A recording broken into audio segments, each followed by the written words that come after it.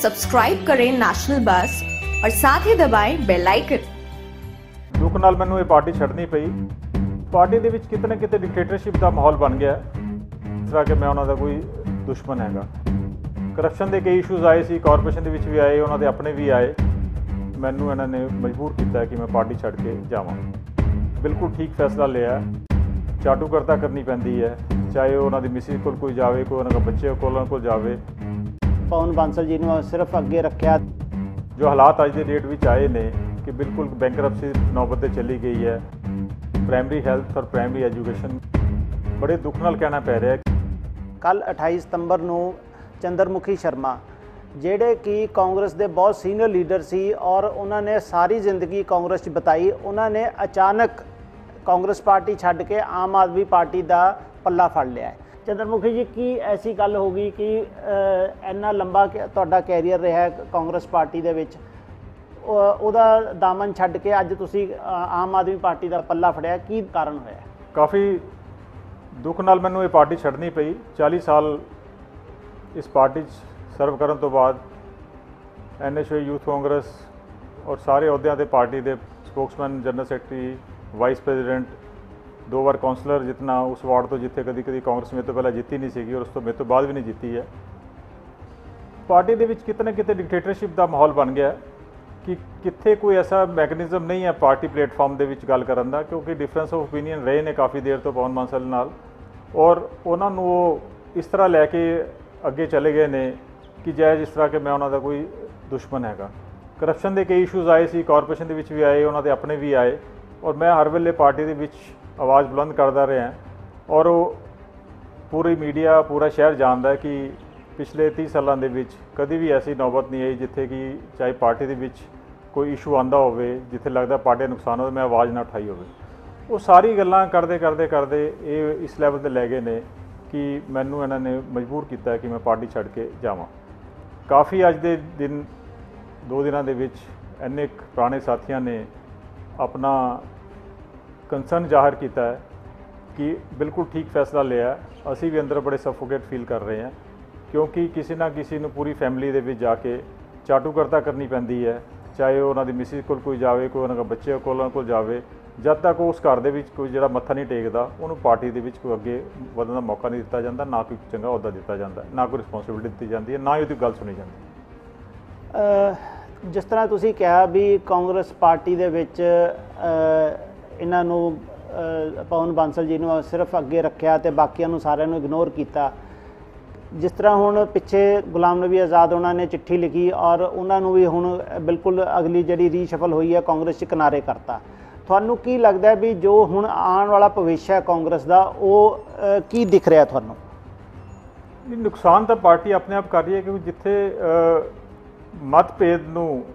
ਮਨਭੇਦ ਲੈ ਕੇ ਚੱਲਿਆ ਜਾਵੇ ਉੱਥੇ ਉਹਨੂੰ ਬਿਲਕੁਲ ਡਿਸਕ੍ਰੀਟਲੀ ਆਊਟਰਾਈਟਲੀ ਬਾਹਰ ਕੱਢਣ ਦੀ ਕੋਸ਼ਿਸ਼ ਕੀਤੀ ਜਾਵੇ, ਉਹਦੀ ਸੁਣਵਾਈ ਨਾ ਕੀਤੀ ਜਾਵੇ ਉਹਦਾ ਨੁਕਸਾਨ ਕਰਨ ਦੀ ਕੋਸ਼ਿਸ਼ ਕੀਤੀ ਜਾਵੇ, ਚਾਹੇ ਬੰਦਾ ਜਿੰਨਾ ਮਰਜ਼ੀ ਇੰਟੈਲੀਜੈਂਟ ਹੋਵੇ ਸਾਫ਼ ਸੁਥਰਾ ਹੋਵੇ, ਜਦੋਂ ਪਾਰਟੀ ਇੰਡੀਵਿਜੂਅਲ ਲੋਕਾਂ ਦੇ ਆਸੇ-ਪਾਸੇ ਘੁੰਮਣਾ ਸ਼ੁਰੂ ਕਰ ਦਿੰਦੀ ਹੈ, ਉਸ ਵੇਲੇ ਇਹਦਾ ਡਾਊਨਫਾਲ ਸ਼ੁਰੂ ਹੋਇਆ ਔਰ ਮੈਨੂੰ ਵੀ ਲੱਗ ਰਿਹਾ ਕਿ ਇਹਦਾ ਕਿਤੇ ਇਸ ਚੀਜ਼ ਦਾ ਅੱਗੇ ਅੱਗੇ ਜਾ ਕੇ ਨੁਕਸਾਨ ਪਾਰਟੀ ਨੂੰ ਹੋਣ ਵਾਲਾ। ਪੰਜਾਬ ਦੇ ਵੀ 2022 ਚ ਇਲੈਕਸ਼ਨ ਆਉਣ ਵਾਲੇ ਨੇ, ਤੁਹਾਨੂੰ ਕੀ ਲੱਗਦਾ ਹੈ ਵੀ ਆਮ ਆਦਮੀ ਪਾਰਟੀ ਦੇ ਵਿੱਚ ਇੰਨਾ ਕੁ ਬੇਸ ਹੈ ਜਾਂ ਆਮ ਆਦਮੀ ਪਾਰਟੀ ਦੀ ਇੰਨੀ ਸ਼ਮਤਾ ਹੈ ਕਿ ਪੰਜਾਬ ਦੇ ਵਿੱਚ ਉਹ ਅਗਲੀ ਵਾਰੀ ਸਰਕਾਰ ਬਣਾ ਸਕਦੀ ਹੈ ਜਾਂ ਉਹ ਜਿਸ ਤਰ੍ਹਾਂ ਅ, 2017 ਚ ਕੁਝ ਸੀਟਾਂ ਲੈ ਕੇ ਰਹਿ ਗਈ ਉਸੇ ਤਰ੍ਹਾਂ ਫੇਰ ਹੋਏਗਾ। ਜੋ ਇਹ ਅਲਾਈਅੰਸ ਟੁੱਟਿਆ ਅਕਾਲੀ ਦਲ ਤੇ ਭਾਜਪਾ ਦਾ ਇਹ ਕਾਫੀ ਦੇਰ ਤੋਂ ਇਹਨਾਂ ਦਾ ਅਲਾਈਅੰਸ ਚੱਲ ਰਿਹਾ ਸੀ 1997 ਤੋਂ ਔਰ ਕਾਫੀ ਮਜ਼ਬੂਤ ਅਲਾਈਅੰਸ ਸੀਗਾ ਕਿਉਂਕਿ ਪਿੰਡਾਂ ਦੇ ਵਿੱਚ ਜਿਹੜੇ ਟ੍ਰੈਡੀਸ਼ਨਲ ਵੋਟ ਨੇ, ਉਹ ਅਕਾਲੀ ਦਲ ਦੇ ਨਾਲ ਰਹਿੰਦੇ ਸੀ ਤੇ ਸ਼ਹਿਰਾਂ ਦੀ ਵੋਟ ਬੀਜੇਪੀ ਲੈ ਜਾਂਦੀ ਸੀਗੀ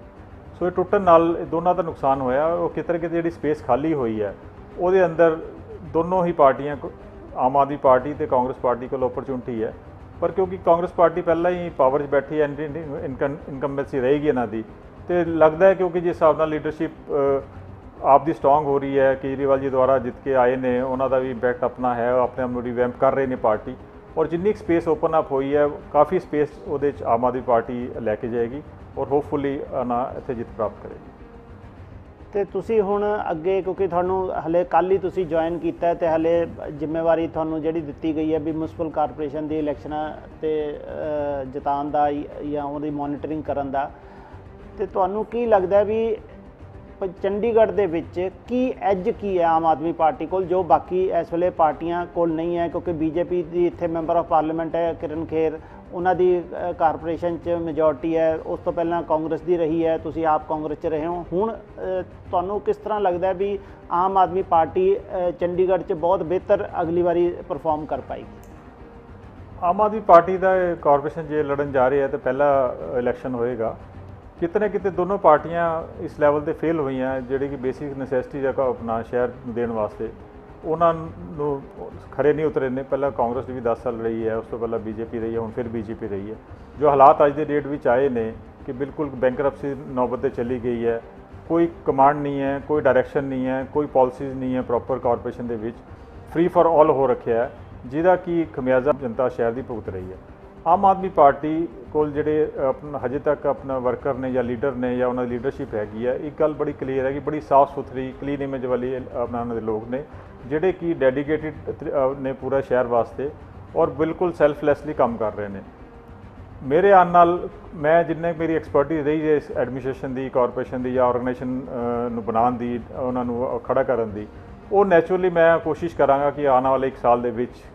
ਕਾਰਪੋਰੇਸ਼ਨ ਇਲੈਕਸ਼ਨ ਵਾਸਤੇ ਇੱਕ ਮਜ਼ਬੂਤ ਸੰਗਠਨ ਆਪ ਆਦਮੀ ਪਾਰਟੀ ਨੂੰ ਆ ਕੇ ਦਿੱਤਾ ਜਾਵੇ ਕਿ ਮੈਂ ਮੈਨੂੰ ਕੇਜਰੀਵਾਲ ਜੀ ਨੇ ਬਿਲਕੁਲ ਇੰਡੀਪੈਂਡੈਂਟਲੀ ਇਹ ਦੁਰਗੇਸ਼ ਪਾਠਕ ਜੀ ਨੇ ਜ਼ਿੰਮੇਵਾਰੀ ਦਿੱਤੀ ਹੈ ਕਿ ਅ,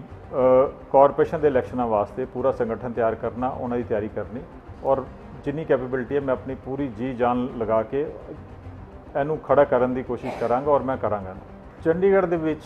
ਸਾਡੇ ਟਾਈਮ ਤੇ ਅਸੀਂ ਪੂਰਾ ਜ਼ੋਰ ਲਗਾਇਆ ਸੀਗਾ ਕਿ ਪ੍ਰਾਇਮਰੀ ਹੈਲਥ ਔਰ ਪ੍ਰਾਇਮਰੀ ਐਜੂਕੇਸ਼ਨ ਕਾਰਪੋਰੇਸ਼ਨ ਦਾ ਹਿੱਸਾ ਹੋਵੇ ਜਿਹੜੇ ਕਿ ਟਰਾਂਸਫਰ ਵੀ ਹੋਏ ਨੇ। ਪਰ ਬੜੇ ਦੁੱਖ ਨਾਲ ਕਹਿਣਾ ਪੈ ਰਿਹਾ ਕਿ ਇਹਨਾਂ ਦੋਨਾਂ ਸੈਕਟਰਸ ਦੇ ਵਿੱਚ ਕੋਈ ਜ਼ਿਆਦਾ ਵੱਡੀ ਗੱਲ ਨਹੀਂ ਕਰ ਪਾਇਆ ਕੋਈ ਵੀ। ਔਰ ਜੋ ਬੇਸਿਕ ਨੈਸੈਸਿਟੀਜ਼ ਹੈ, ਉਹਨਾਂ ਨੂੰ ਪਲੱਸ ਬੇਸਿਕ ਪ੍ਰਾਇਮਰੀ ਹੈਲਥ ਔਰ ਪ੍ਰਾਇਮਰੀ ਐਜੂਕੇਸ਼ਨ ਇਹਨਾਂ ਦੇ ਉੱਪਰ ਜ਼ਿਆਦਾ ਫੋਕਸ ਦਿੱਤਾ ਜਾਏਗਾ, ਜੋ ਕਿ ਅੱਜ ਦੀ ਡੇਟ ਦੀ ਸਭ ਤੋਂ ਜ਼ਿਆਦਾ ਜ਼ਰੂਰੀ ਚੀਜ਼ ਲੋਕਾਂ ਵਾਸਤੇ ਹੈ। ਜਿਸ ਤਰ੍ਹਾਂ ਚੰਦਰਮੁਖੀ ਜੀ ਨੇ ਦੱਸਿਆ ਵੀ ਆਮ ਆਦਮੀ ਪਾਰਟੀ ਦੇ ਵਿੱਚ ਇਹ ਇਸ ਕਰਕੇ ਗਏ ਨੇ ਕਿ ਕਾਂਗਰਸ ਪਾਰਟੀ ਦੇ ਵਿੱਚ ਇਹਨਾਂ ਦੀ ਗੱਲਬਾਤ ਸੁਣੀ ਨਹੀਂ ਜਾ ਰਹੀ ਸੀ ਔਰ ਇਹਨਾਂ ਦੇ ਕੋਈ ਜੀ ਜਿਹੜੇ ਲਗਾਤਾਰ ਸੁਝਾਅ ਲੈ ਕੇ ਇਹ ਦਿੱਲੀ ਜਾਂਦੇ ਸੀ ਉੱਥੇ ਇਹਨਾਂ ਦੇ ਸੁਝਾਅ ਸੁਣੇ ਨਹੀਂ ਜਾਂਦੇ ਸੀ ਔਰ ਸਿਰਫ ਔਰ ਸਿਰਫ ਪਵਨ ਬਾਂਸਲ ਦੇ ਪਰਿਵਾਰ ਦੇ ਜਾਂ ਪਵਨ ਬਾਂਸਲ ਦੇ ਜਿਹੜੇ ਚੇਲੇ ਨੇ ਜਾਂ ਅਸੀਂ ਕਹਿ ਸਕਦੇ ਹਾਂ ਵੀ ਪਵਨ ਬਾਂਸਲ ਦੇ ਜਿਹੜੇ ਫਾਲੋਅਰ ਸੀ ਉਹਨਾਂ ਦੀ ਗੱਲਬਾਤ ਹੀ ਸੁਣੀ ਜਾਂਦੀ ਸੀਗੀ। ਤੇ ਉਸ ਕੋਲੋਂ ਇਹ ਨਿਰਾਸ਼ ਹੋ ਕੇ ਇਹ ਆਮ ਆਦਮੀ ਪਾਰਟੀ 'ਚ ਗਏ ਨੇ। ਦੂਸਰਾ ਇਹਨਾਂ ਨੇ ਬੜੀ ਅੱਛੀ ਗੱਲ ਹੋਰ ਕਹੀ ਹੈ ਕਿ ਆਮ ਆਦਮੀ ਪਾਰਟੀ ਦਾ ਫੋਕਸ ਜਿਹੜਾ ਹੈਗਾ, ਉਹ ਸਕੂਲਾਂ ਤੇ ਇੱਕ ਔਰ ਹੈਲਥ ਸੈਕਟਰ ਤੇ ਔਰ ਐਜੂਕੇਸ਼ਨ ਸੈਕਟਰ ਤੇ ਰਹੇਗਾ। ਔਰ ਹੈਲਥ ਔਰ ਐਜੂਕੇਸ਼ਨ ਸੈਕਟਰ ਨੂੰ ਇਹ ਸੁਧਾਰਨ ਦੀ ਕੋਸ਼ਿਸ਼ ਕਰਨਗੇ ਜੇ ਇਹ ਸ- ਅ, ਕਾਮਯਾਬ ਹੁੰਦੇ ਨੇ ਇਲੈਕਸ਼ਨ ਜਿੱਤਣ 'ਚ ਬਾਕੀ ਇਹ ਹੁਣ ਆਉਣ ਵਾਲਾ ਵਕਤ ਦੱਸੇਗਾ ਕਿ ਆਮ ਆਦਮੀ ਪਾਰਟੀ ਚੰਡੀਗੜ੍ਹ ਦੇ ਵਿੱਚ ਕਿੰਨਾ ਕੁ ਆਪਣਾ ਆਧਾਰ ਬਣਾ ਪਾਉਂਦੀ ਹੈ ਔਰ ਅ, ਕਾਰਪੋਰੇਸ਼ਨ ਦੇ ਇਲੈਕਸ਼ਨਾਂ ਦੇ ਵਿੱਚ ਕਿੰਨੀ ਕਾਮਯਾਬੀ ਹਾਸਲ ਕਰਦੀ ਹੈ ਸਾਰੇ ਦਰਸ਼ਕਾਂ ਦਾ ਬਹੁਤ-ਬਹੁਤ ਧੰਨਵਾਦ ਸਾਡੇ ਨਾਲ ਜੁੜਨ ਦਾ नेशनल बस पर लेटेस्ट न्यूज और एंटरटेनमेंट वीडियोस देखने के लिए सब्सक्राइब करें लाइक करें कमेंट करें और शेयर करें थैंक्स फॉर वॉचिंग